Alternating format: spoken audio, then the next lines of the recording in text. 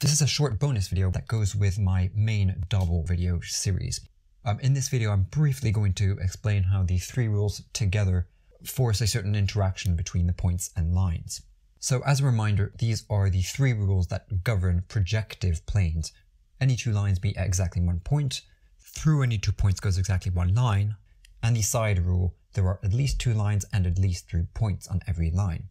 Okay, so the first fact that we get is that every line must have the same number of points. In other words, every card will automatically have the same number of symbols. To see this, let's just take two lines, and I'll call them L1 and L2. So they intersect somewhere, and so have a common point by rule 1. Now, by rule 3, each of these lines has at least three points on it, so we can add on two points onto each of them. Then rule 2 says we could connect the points in this way, through these two blue lines. And then by rule 1, those two blue lines intersect somewhere in this red point I've put. So the rules have already forced the existence of a point outside of both lines.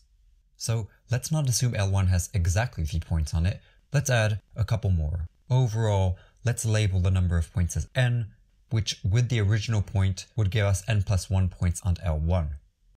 Now, what we can do is we can draw lines through these extra points through this special red point by rule 2. And by rule 1, these are going to hit L2, meaning we'll have at least n points on L2 apart from the first one. And there can't be any more because if there were, then we could draw a line through that point and the exterior point to get another point on L1. But we already used up all the points on L1. And this means every line must have the same number of points. Let's say n plus one of them to keep in tune with what we just did. This leads us to the second fact. Through every point goes the same number of lines, and remarkably, this number is the same as the number of points per line, in other words, n plus 1.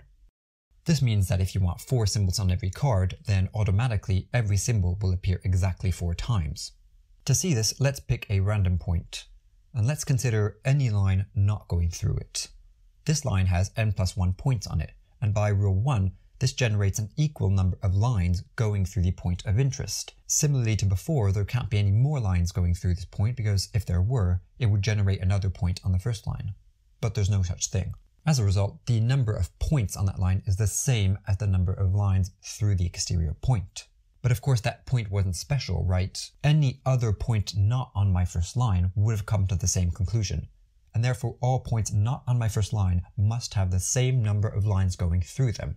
And of course, these points aren't special either. I could just as well have chosen another line as a reference, because all of them have n plus 1 points on them, to deduce that these also have n plus 1 lines going through them.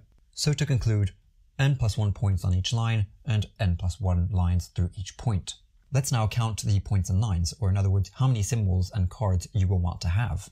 Take a point, so one point so far. Out of it come n plus 1 lines. On each of these lines, there are n other points, because one of them has already been counted. So we have an additional n plus 1 lots of n points. Can there be any other points? Well, no, because as before, that would produce a new line going through our first point by rule 2. But we've already used up all the lines coming from there. So we're done. There must be n plus 1 times n plus 1 points, or in other words, through basic algebra, n squared plus n plus 1 points. A very similar argument works to show that the number of lines, unsurprisingly now, is the same. Try to figure this out yourself. And that's the conclusion we wanted to reach.